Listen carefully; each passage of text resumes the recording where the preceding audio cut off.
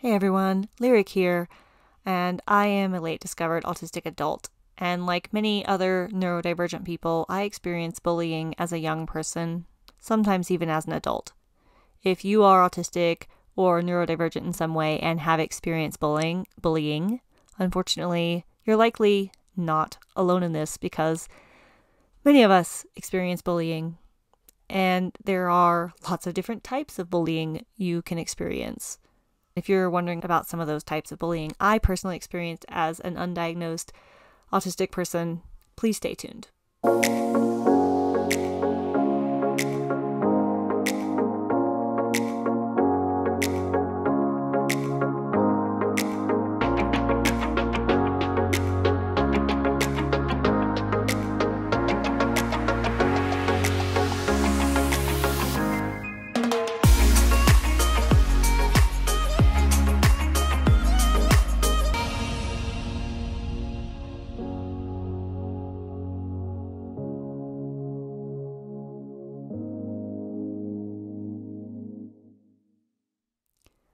First, I want to talk about something that happened regularly. To a lot of people, it might have seemed innocent or if people were just trying to be helpful. But that is having people constantly pick at me and try to encourage me by saying things like, if you would just apply yourself, or you only would try harder, not knowing I was autistic and neurodivergent and was already trying my hardest, trying much harder than other people to do certain things. As an autistic person, there are always going to be things that are harder for me than they are for non autistic people because autistic people and non autistic people have different strengths and weaknesses because our brains are different. Constantly being asked to try harder when I was already trying my hardest taught me to ignore my own limits and also taught me that nothing I would ever do would be good enough to people around me and that I needed to try extra hard to prove myself. None of which was actually true, all of which had extremely negative impacts on my mental health. Then there were the comments from my peers and other young people when I was growing up, when I would move a certain way or talk about a subject that other children did not have interest with. I would be called weird or twitchy or the R word or other things by the kids other kids, especially little girls, were some of the meanest people I dealt with as a young person.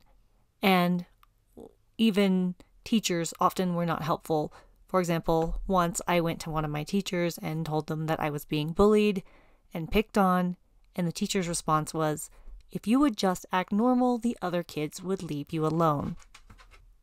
The other thing I really struggled with with teachers was often in school, teachers had expectations that I would sit very still and look at them when they were talking to me while they were lecturing and not do anything else while they were teaching.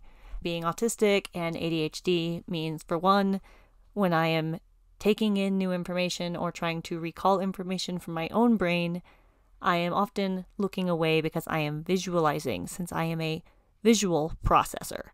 I see pictures in my head when people are talking, so the words paint pictures for me. If I am looking at someone's face, I am unable to paint mental pictures to process and understand what's being said to me. In school, this caused a lot of problems. The other thing is being ADHD means when something does not catch my interest or give enough dopamine to my brain, my brain gets bored and will do other things. Often that is fall asleep. In school, I would draw or doodle while a teacher was lecturing, for example. And that because I was doing something else while the teacher was lecturing, even though I was paying attention, or because I wasn't looking directly at the teacher while the teacher was teaching, was often taken as me being disrespectful. I was constantly scolded and punished because my attention didn't look like the attention of neurotypical kids around me. I moved around a lot. I struggled to stay in my seat. I was constantly busy and always moving or talking to myself or singing to myself because I had a lot of excess energy in me, energy I needed to get out. Teachers often responded by taking away my recess, which was my break time to go and run and get all of that energy out of me. it was quite counterproductive and meant to teach me some lesson, but all it did was make it harder for me to learn.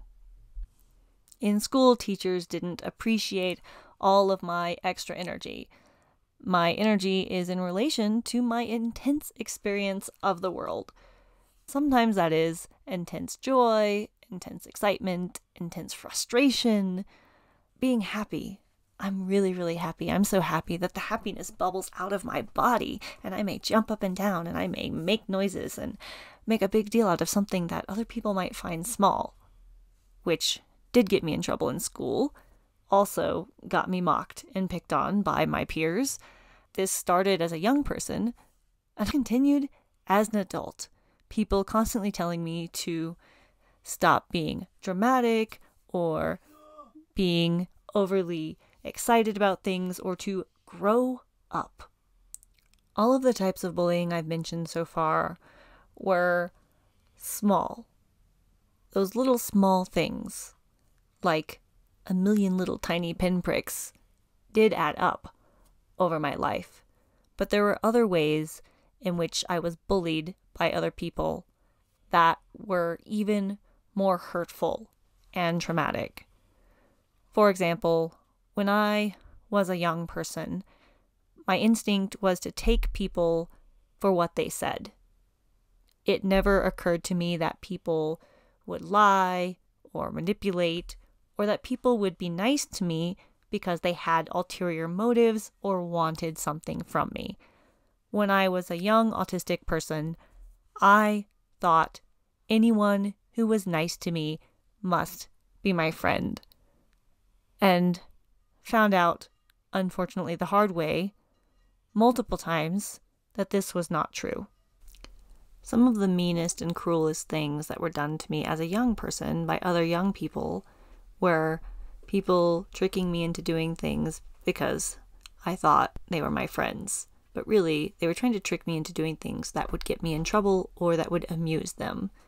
When I was very young, I didn't understand yet that people would sometimes act like your friends to get you into trouble.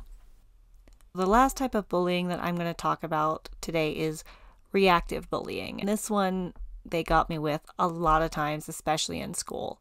What the other kids would do to me was pick on me when the teacher wasn't looking, and they would constantly pick at me, pick at me, pick at me, pick at me. Maybe it was throwing spitballs at me or poking me in the back or just doing some constant little thing every time the teacher wasn't looking until I couldn't take it anymore.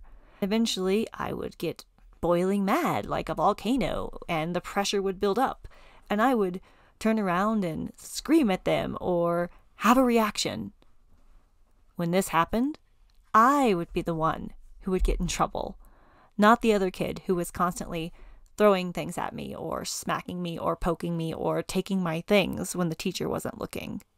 That's all I have to share today. If you're a neurodivergent person and you experienced bullying growing up or even as an adult, I invite you to share what that was like for you and the impact that that had on your life. Thank you, everyone who stuck around until the end. This is the end of the video. If you're still here, hit that thumbs up. Let me know I didn't lose you on the way to this point. Thanks everyone who comments, who sticks around, who catches these videos. I put out new videos each and every Wednesday. Thank you for everyone who subscribes, shares your video feedback and questions and suggestions. Thanks to those monetary subscription members that help me with things like website hosting, transcriptioning software, the technology with which this blog is filmed on. None of this would be possible without the help and support of readers like you, so I am incredibly grateful for each and every one of you. Thank you so much. I will see you all next week.